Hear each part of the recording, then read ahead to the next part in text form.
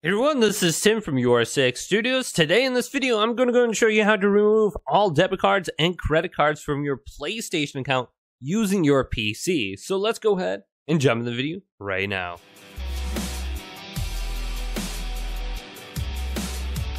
So if you no longer have access to your PlayStation and you want to go ahead and easily remove your credit card and debit card from your account, well, if you go over to a web browser, and then type in PlayStation.com at the top, just like this.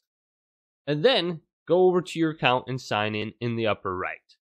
So once you're signed in, you'll see your profile picture. Select your profile picture. Then go down to Payment Management right here and select this option.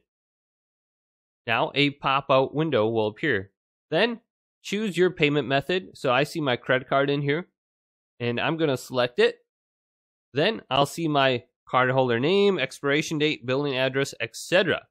Now, way at the bottom, it says remove. Let's select remove right here. Then it says, are you sure you want to delete this payment method? Let's go to yes. Okay, so once I signed back in, I was able to remove my credit card from my account.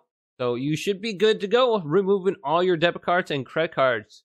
So hopefully this video did indeed help you out. If it did, go and leave it a big thumbs up and subscribe to my channel down below for more tech up videos coming up next on Your Six Studios.